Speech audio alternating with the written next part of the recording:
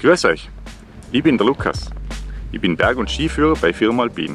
Ich zeige euch jetzt anhand einem Szenario, das wir vorbereitet haben, also einen Rucksack vergraben mit meinem LVS-Gerät auf Senken. Das simuliert eine Verschüttung und anschließend zeigen wir euch die Suche, wie man da vorgeht.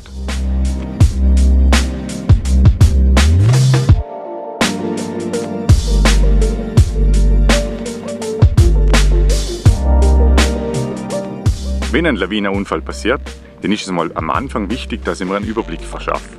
Wie viele sind verschüttet, wie viele fehlen vor der Gruppe oder was ist überhaupt passiert. Als nächstes mache ich natürlich sofort den Notruf, wenn er ohne Zeitverlust möglich ist, weil der Faktor Zeit eben so eine wichtige Rolle spielt. Wenn ich jetzt auf Suchen bin mit meinem LVS-Gerät, dann schaue ich, dass ich so schnell wie möglich ein Signal kriege. Wenn ich andere Gruppenteilnehmer dabei habe, denn ist wichtig, dass die ihre Geräte ebenfalls auf Suchen stellen oder an einem sicheren Platz, sogar auf Aus, damit mich niemand stört. Ich laufe in Richtung Lawinenkegel und dank den Lawinenkegel in Suchstreifen ab. Sobald ich ein Signal habe, folge ich dem Pfeil auf dem Gerät und schaue, dass die Distanz geringer wird. Je näher ich komme zum Verschütteten, desto langsamer bewege ich mich fort und desto genauer wird die Suche.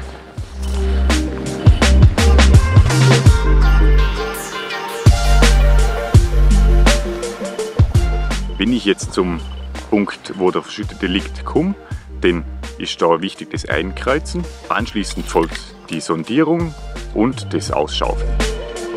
Da ist er. Da ist was.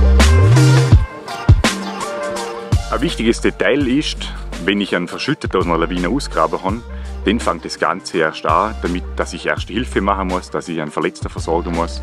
Und das ist natürlich etwas, wo man viel mal vergisst in der Übung und das muss man ein bisschen im Hinterkopf behalten, dass das auch zum Üben ist und regelmäßige Erste-Hilfe-Kurse da viel bringen.